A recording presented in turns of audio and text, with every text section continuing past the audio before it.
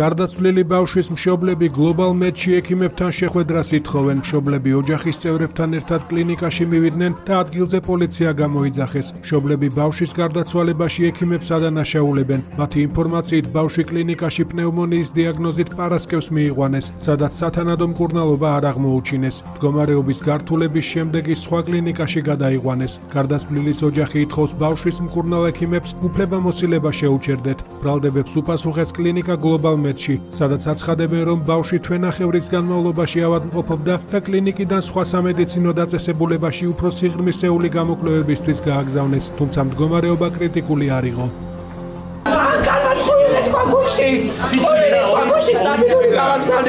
ალი კადრო თხუილი გამოდი ხა დაიძახი რომ უკურნალე ყველაფერი ჩავატარე მაგრამ ვერ შემდე ვერ შემდეგე არ მოკიდა კენი და როგორ შეძლებ? ბავშვი იმყოფებოდა ჩვენთან პარასკევს რო შემოვიდა დილის 11 საათზე გაიწერა შაბათს საღამოს 10-ის 15 წუთზე.